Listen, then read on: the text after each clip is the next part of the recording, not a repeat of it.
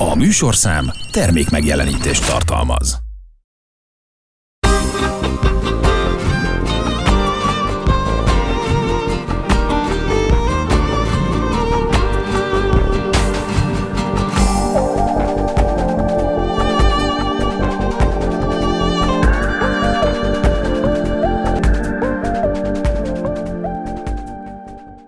Ez évben is megrendezte a Fejér megyei termelők kóstolással és vásárral egybekötött vásárát az Agrárkamara.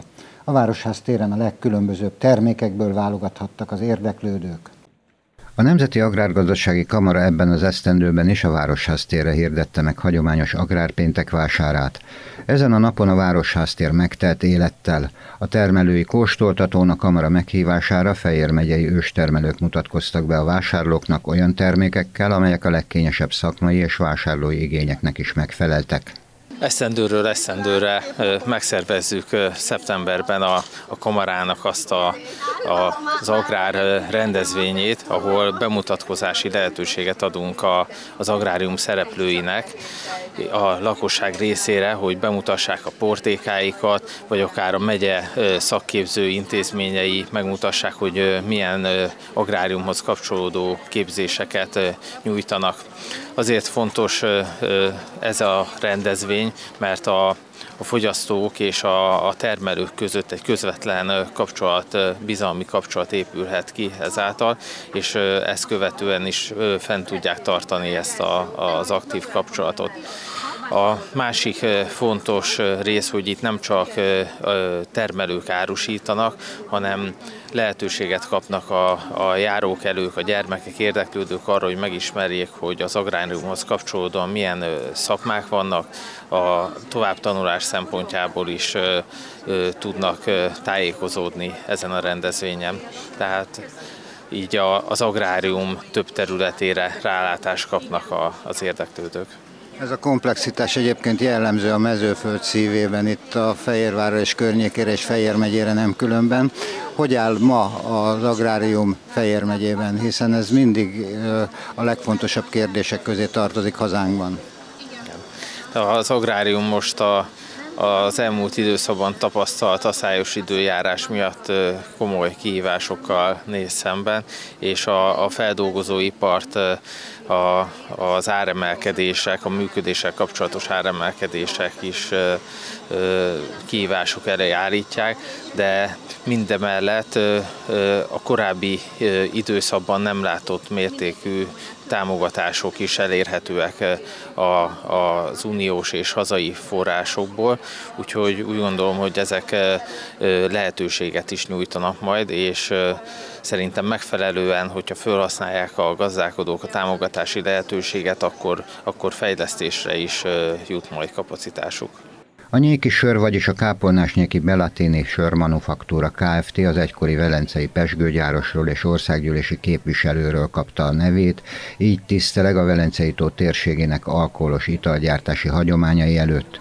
A sörfőzdében évi 400 ezer liternyi kiváló minőségű kézműves sörfőzésre nyílik lehetőség, a kiváló minőség Székesfehérváron is hódít. Két éve nyitottuk meg a sörfőzdét Kápolnásnyéken. Én azt gondolom, hogy elég jó úton haladunk ahhoz, hogy egyre többen fogyasszák a sörünket. Mindent megteszünk azért üzletileg, hogy minél több helyre eljusson, Budapesttől kezdve egészen Fejér megyén át Székesfehérváron mindenfelé. Ez sem egy könnyű ipar, csináljuk, egyelőre mindenki szereti a sörünket, aki kóstolja, és továbbra is, továbbra is beleteszünk minden energiát, hogy a legjobb minőségű terméket tudjuk produkálni. Igen, hát a minőség az kulcskérdés. Én azt hiszem, hogy a sör sok mindenki által kedvet. A, mitől különleges a nyéki sör, hiszen tudjuk, hogy a, az eljárásmód is más, és azt hiszem, hogy ezt már bizonyították ebben az időszakban. Talán attól érzem különlegesnek, hogy mi nyéken a, a nyéki kútvízből főzzük, az alapanyagokat a legkülönlegesebb helyekről vásároljuk össze, és a receptjeinken is mindig, mindig annyit finomítunk és változtatunk, hogy ez, hogy ez ne egy átlagos ivósör legyen, hanem egy kézműves minőségi termék. Tehát ez lehet a jövő útja? Én azt gondolom, hogy igen, és ez az, amiben hiszünk is, hogy minél, minél különlegesebbet és minél jobb minőséget adjunk a fogyasztóinknak. Az Elsimon borászat is állandó vendég az agrárpénteken. A család több nemzedék óta gazdálkodik, szőlőt termeszt, bor készít. A pincéikben javarészt a saját termesztésű szőlőiket dolgozzák fel. Jelenleg 11 hektár területen gazdálkodnak az Etyek budai borvidéken, a Velencei tó környékén. Az Etyek budai borvidékről származnak a szőlőnk, tehát a Velencei tó környékéről hozzuk őket be a céghez. Száraz boraink vannak, van vörös, van rozé, illetve fehér boraink. Kétfajta gyöngyöző borunk is van, abból van rozé és fehér bor. Mi a személyes tapasztalata, mennyire népszerűek ezek a borok mostanában? Én azt gondolom, hogy így nyár vége fele is még nagy rá a kereslet. Nyár, nyáron pedig tehát természetesen ugye a fröccsök miatt nagyon nagy volt rá a kereslet. Különleges szörpök, kivételes ízvilágú lekvárok és kedves babák uralták Horváth Mária Zsuzsanna standját, aki a szépség és a minőség harmóniájában készíti termékeit.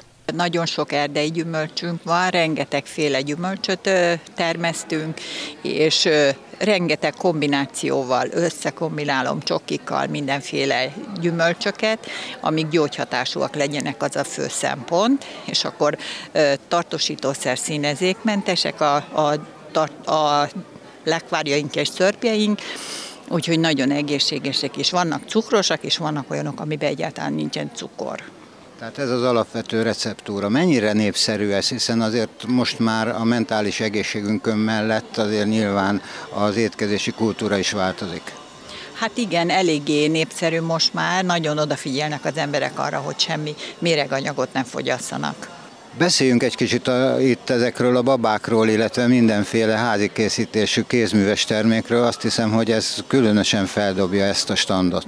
Igen, a babákat direkt kisbabáknak készültek, ami semmilyen olyan anyag nincs, amit a babák ugye, ha megharabdálnak, kicsit a szájukba veszik, lejöjjön róla, és olyan tömő anyag van benne, amit ha anyukák kimosnak, nagyon gyorsan szárad is nekik. A székesfehérvári kisméhészet országszerte ismert.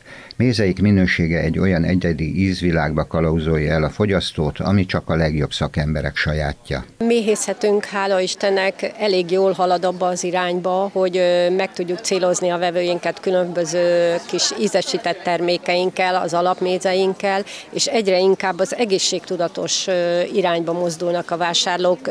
Sokkal jobban keresik manapság a termelői mézeket, mint egy pár évvel ezelőtt. Vannak különleges mézek, és ezt mennyire elfogadott a vásárlók körében, hiszen azért tudjuk, hogy az elsődleges mindig a vegyes virágméz, az akácméz volt, és most már azért sokkal szélesebb a kínálat. Igen, szélesebb a palettánk. Igyekszünk a vásárlók igénye szerint készíteni a mézeinket. Főként alapmézek találhatók meg nálunk is, de úgy gondoltuk, hogy van rá igény bizonyos körökben, hogy ízesített mézeket is forgalmazzunk, amik szintén termelői mézből és gyümölcsből készülnek, nem adalékanyagokkal, nem olajakkal dolgozunk, hanem 100% gyümölcsel dolgozunk, és ezért gondoljuk azt, hogy talán-talán így a vevőink szívesebben megkóstolják ezeket a mézeket. A Velencei Ensz Ferenc mezőgazdasági szakgimnázium és szakközépiskola képviselői is esztendőről esztendőre képviseltetik magukat a találkozón, hiszen céljuk, hogy népszerűsítsék a komoly szakmai jövőt biztosító intézményt, amely Fejér megyében komoly múltal jelennel és jövőképpen rendelkezik. Az iskolánk Velencén található, egyben egy kollégiummal, egy nagy parkkal és tangazdasággal egyben összekötött területen, Különböző agrárszakmákra képzünk diákokat, mint kertésztechnikus, ennek két kimenetele van, a virágkötő dísznövénykertész és a parképítő technikus, mezőgazdasági technikus, ami lehet állattenyésztő, illetve növénytermesztő, gazda, kertész, ezek szakiskolai, szak, ezek három éves képzések, és agrár szakmákon kívül lehet még nálunk tanulni kereskedelmi értékesítőnek, illetve panziós vendéglátósnak. Mennyire népszerűek ezek a szakmák, miket látják? Tapasztalataink szerint egyre népszerűbbek. Egyre több diák jelentkezik, elsősorban a technikus képzéseinkre. Igen, hát ez a jövő szempontjából nagyon fontos, és uh, nyilvánvaló, hogy figyelemmel kísérik a mezőgazdaság változásait. Mit tudnak tenni, hogy továbbra is megmaradjon ez az iskola ilyen szinten?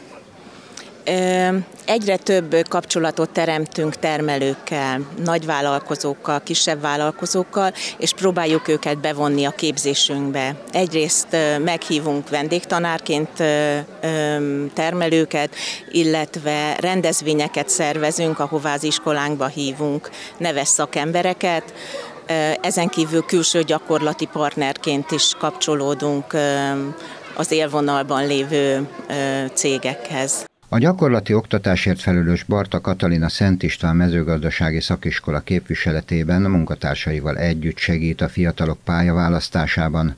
Olyan lehetőségeket kínálnak, amelyek hosszú távra megalapozhatják a jövőt, hiszen agrárszakemberekre mindig szükség lesz.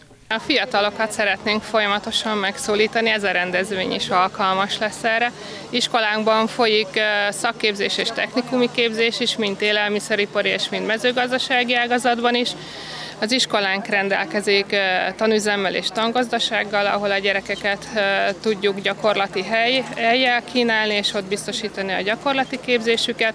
A tangazdaságunk Csiripusztán található, ahol állatok is vannak, tehenek, lovak, illetve sertések és juhok, akik, amik, amelyekkel tudnak foglalkozni a gyerekek, és el tudják sajátítani ezt a szép szakmát.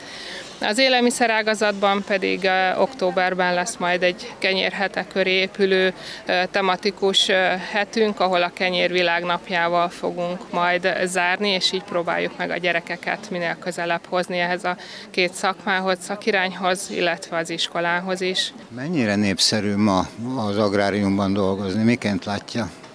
Hát aki szereti, és már ebben nőtt fel családilag, őket nagyon könnyen meg tudjuk szólítani, és eleve keresik is az iskolát. Általános iskolában a nyolcadikosok körében ugye ott keressük a gyerekeket, akik érdeklődnek, és itt tudunk gyerekeket találni a továbbtanuláshoz. Jó úton járunk, miként látja?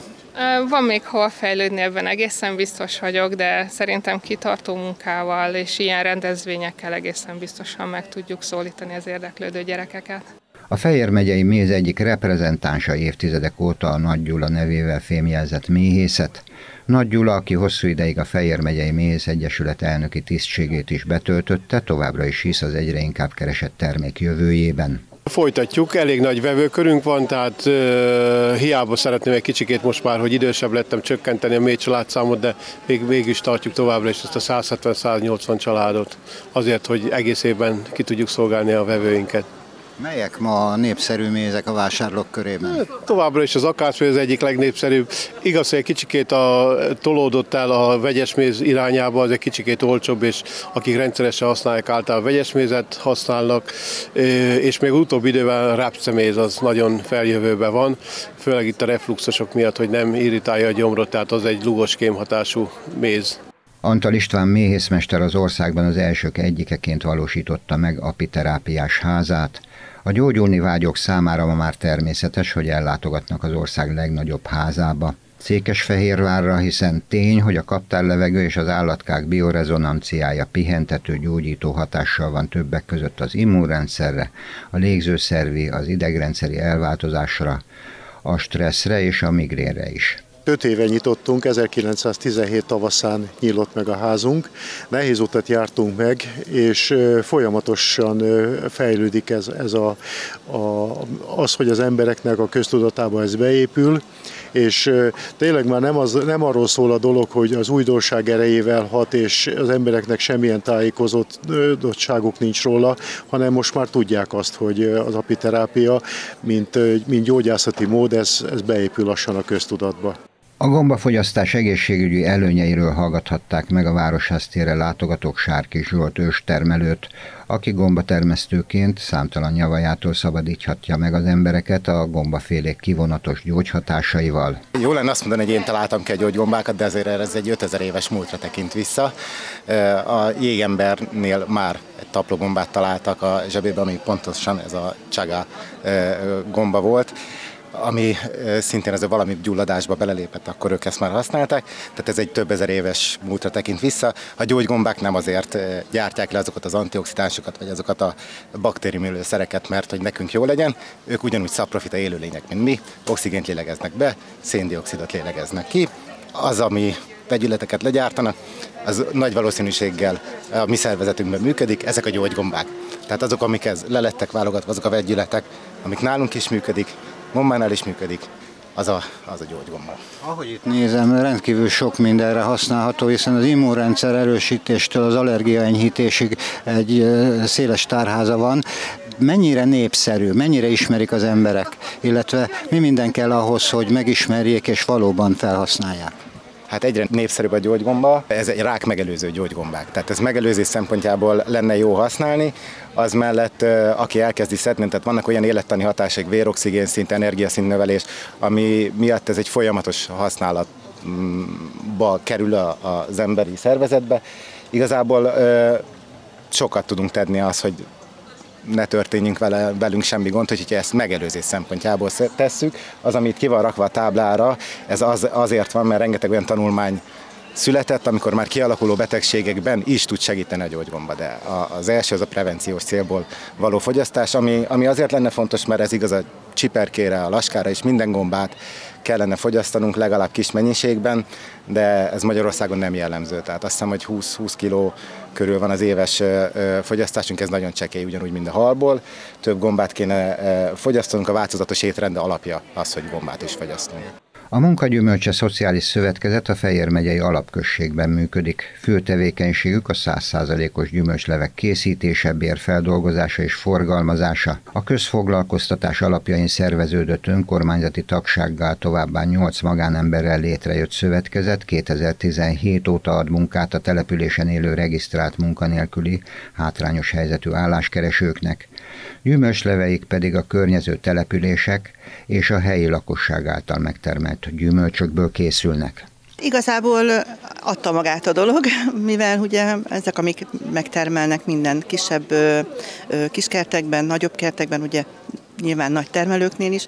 Igazából a mi szövetkezetünk bérgyártásra mm, azzal indultunk, tehát hozzánk behozhatja bárki a gyümölcsét, mi megcsináljuk neki gyümölcstének, és ugye ezek voltak azok a gyümölcslevek, amit mindenkinek ízlik, az édesek, ugye az egészséges a homoktövis, az édességek ugye az őszi barackos, a szilva, a vilmos körte, meg nyilván az alma. Ez az, ami mindenhol dömpingben van. És mennyire népszerűek ezek a termékek? Ö, igazából minden ősszel nagyon-nagyon kellendő. Nyilván, amikor bérgyártás van, akkor nálunk ugye akkor van a, a dömping, de tavasszal már ugye a gyümölcsleveket kell ö, árusítanunk, mert akkor ö, ezeket viszik, mert ugye így tarthat, így, így válik eltarthatóvá a gyümölcs, gyümölcslé formájában. A Fejér megyei kamara munkatársai ismét fontos üzenetet fogalmaztak meg azzal, hogy segítettek előtérbe helyezni a tudatos vásárlás fontosságát, a természetes anyagokból készült környezettudatos és fenntarthatóbb mindennapi élet kialakítását elősegítő termékeket, a hazai tervezők munkáit, a magyar termelők finomságait és a fogyatékkal élő emberek által készített minőségi termékeket egyaránt. A palotai kapu előtt rendezték meg a Mangalica Fesztivált. A háromnapos találkozó különleges gasztronómiai élményeket kínált a látogatóknak. Székesfehérváron a szeptember a gasztronómia hónapja. A Mangalica Fesztivál küldetése, hogy az őstermelőktől közvetlenül kerüljön a kifogástalan minőségű portéka a vásárlókhoz. Fehérváron idén is a legjobb mangalica tenyésztőkkel és termékeikkel találkozhattak a vendégek az Országos Egyesület szervezésében. A tenyésztőknek sem kedvez ez az időszak, az, ami konkrétan a fesztivált illeti. Ott két nagy budapesti eseményünk is sajnos el, elmaradt. Nagy szerencsénk volt azzal is, hogy egyáltalán ide Fehérvárra tavaly el tudtunk jönni, hiszen pont egy olyan időszak volt a lezárásokban, ahol itt lehetőséget kaptunk. Azon dolgozunk, hogy megmutassuk, hogy azért itt ennek a szektornak van ereje, és megpróbál minél hamarabb talprálni. Nem, nem, nem könnyű a helyzet a mangalica tenyésztőknek sem, figyelembe véve a jelenlegi takarmányárakat és mindenféle egyebet, ami a világban körülöttünk történik. Úgyhogy nyilván minket is elég súlyosan érint, de pont azért nagyon fontos nekünk, hogy itt lehetünk, hogy megmutassuk, hogy azért létezik tenyésztés, és a termékek azért készülnek, és hogy reméljük mindenki megelégedésére. Ez eddig is így volt, már mint a megelégedés, de hol tart ma a mangalica tenyésztés? Van-e kellő szakember ahhoz, hogy ez a tradicionális ág megmaradjon, illetve tovább fejlődjön? Hát szakemberek mindenképpen vannak, hiszen ők hosszú évtizedek óta dolgoznak azon, ahol most tart ez az egész. Hál' Istennek külföldön is nagyon népszerű a termék, hiszen maga az állat egy olyan minőségű húst ad, ami párját ritkítja a világon.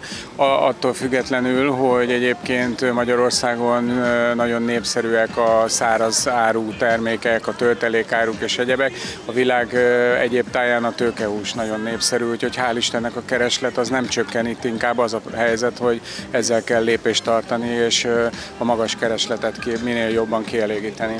Ha körülnézünk, láthatjuk, hogy nagyon sok árus tisztelte meg jelenlétével Székesfehérvárt. Az árusok tehát kiváló árukkal jönnek ide. Mi mindent hoznak? Hát ami, ahogy említettem is, alapvetően a fesztiválon elsősorban a Magyarországon legnépszerűbb termékek, ugye a szalámi, kolbászok, szalonnák, töpörtyű, tehát minden olyan klasszikus dolog, ami a mangaicából a legjobb egyébként. Tehát nyilván a zsírja az fantasztikus, rengeteg helyen lehet használni a gasztronómiába, főleg most, amikor ugye az olaj körül is problémák vannak, nagyon sokan áttértek egyébként a zsír használatra, amivel egyrészt az ételeiket kellemesebbé tehetik, másrészt új ízeket is felfedezhetnek ezáltal, úgyhogy ezekből a termékekből itt sok tonna van egész hétvégére. Ennek tükrében milyen jövője lehet a mangalica tenyésztésnek, biztosnak látja? Hát én mindenképpen annak látom, hiszen nagyon elszánt szakemberek dolgoznak ebben a szektorban, és maga a termék, illetve az állat az rendkívül népszerű és nagyon keresett. Úgyhogy azt gondolom, hogy ha az egyéb körülmények rendeződnek vagy konszolidálódnak, akkor semmi probléma nem lesz ezen a területen.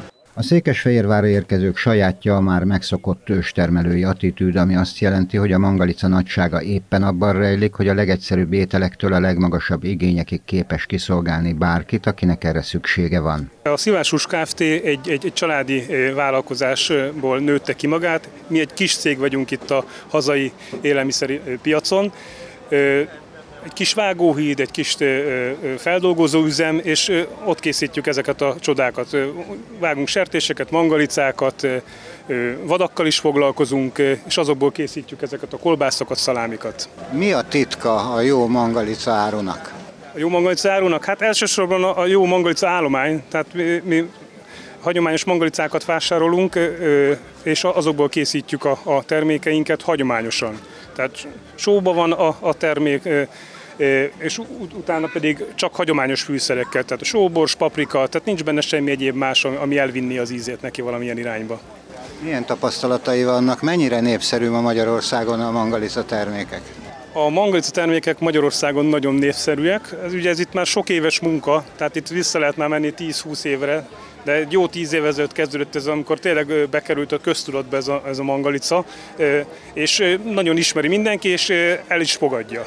Tehát az működik az üzlet ilyen értelemben is? Igen, igen, igen, igen. Sokan keresik a mangalica termékeket. Igaz drágább, mert ugye sokkal a húskihozatal az, az sokkal gyengébb, mint egy normál sertésnek, tehát kevesebb hús jön ki egy egész mangalica disznóból, mint egy normál sertésből. És ezért is a, a drágaság, meg az előállítása is ez sokkal drágább, mert nem egy 5-6 hónap alatt van kész a, a, a disznó, hanem egy év alatt. Vagy még, még több is, akár attól függ, milyen, milyen nagy súlyban van levágva. Az alap, hogy a tenyésztők és a feldolgozók is tudják, hogy a mangalica prémium élelmiszernek számít, és a minőségi húsok között is van rá kereslet, bár az előállítása magasabb költséggel jár, és sokkal tovább tart, mint egy hagyományos sertésé. A mangalica testének csak 30%-a ad húst, a többi az zsír és az egyéb, ezért a normál sertéshez képest font fordítva vannak az arányok, illetve kevesebbet fiel, mint egy normál sertés, tehát gyakorlatilag minden sarokpontban egy nehezített pálya a mangalica tenyésztés, hiszen az eredményessége, mármint ami a számokat illeti, az sokkal gyengébb, mint a normál sertésnél. Viszont cserébe olyan minőségi húst ad, ami a világon mindenhol keresett.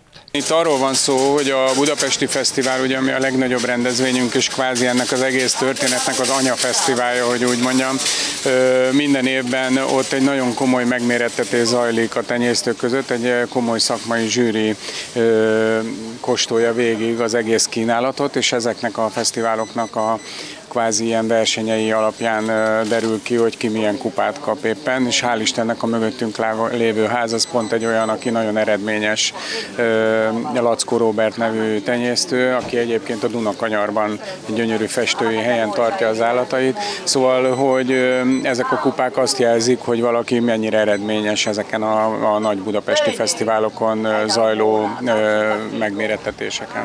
Megerősítés jelent egy tenyésztőnek, ha elismerik a szakmát? Szakmában is a munkáját?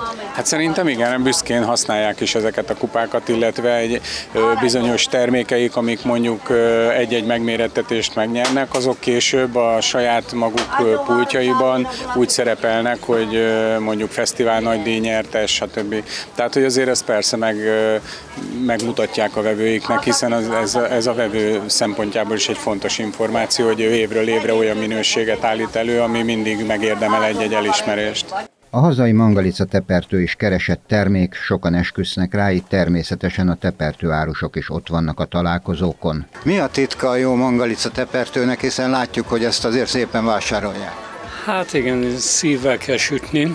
Beszéljünk arról, hogy miért lett ilyen népszerű a mangaliza termék. Hát ugye egészségesebb, mint a házi sertés, tehát igaz, hogy zsírosabb, de mégis ugye koleszterin tartalma minden ö, jobb. Ő miért ezt választotta? Mióta foglalkozik ezzel?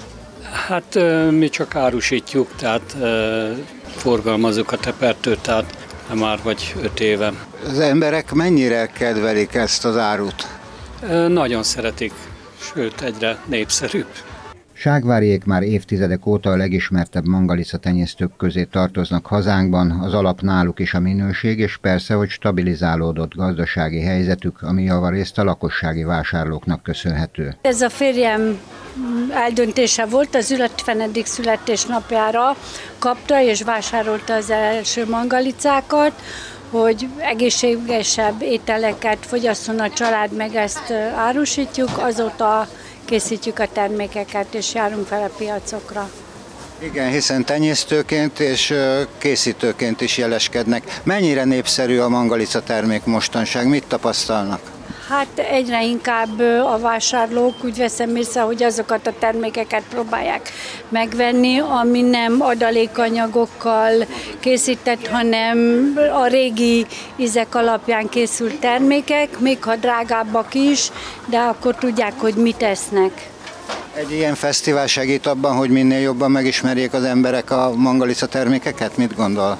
Igen, mert az ország több pontjáról érkeznek mangalicások, és akkor azért több ízvilág van, és megismerik, kóstolnak, vásárolnak. Az ízélmény tehát adott egyértelműen arról van szó, hogy mangalicát azért kell lenni, mert finom, régen elterjedt és egészséges, emellett pedig vannak olyan egészségre vonatkozó hatásai, amelyek a szervezete jobban vagy előnyösebben hatnak, mint a normál sertéseké. Ilyen például a telítetlen zsírsavak aránya, ettől függetlenül viszont azért kell fogyasztani, mert finom, visszahozza azokat az éveket, amire az emberek emlékeztek, amikor még igazi volt a sertéshús. Kedves nézőink, köszönöm megtisztelő figyelmüket, találkozunk a jövő héten ugyanebben az időpontban, ugyanitt, viszontlátásra!